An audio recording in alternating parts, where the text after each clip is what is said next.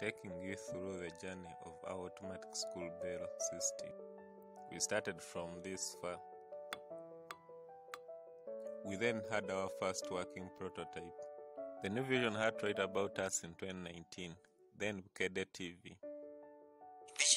Biki byetaaga okutuusa tekinologiya we owa automatic school bell system ku mutindo nga kati akyali ku mutendera gwa prototype currently gye tulina ekozesa amasanyalaze ga bumeme naye in the future bwe tunaba tu- tugikyusizaamu tujja kumekinga sure nti esobola n'okukozesa sola. Twasinga kutunulira masomero ga secondary naga primary kuba ge gasinga okukozesa obudde naye sisitimu eyambako ne mu companies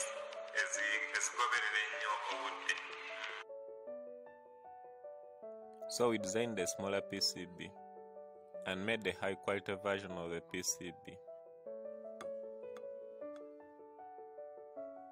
We also improved the casing and made it smaller. And we changed what we had installed at St. Michael's International School. Testing the system, it had ring for the lunch break. Occupying around five acres, the school uses a siren.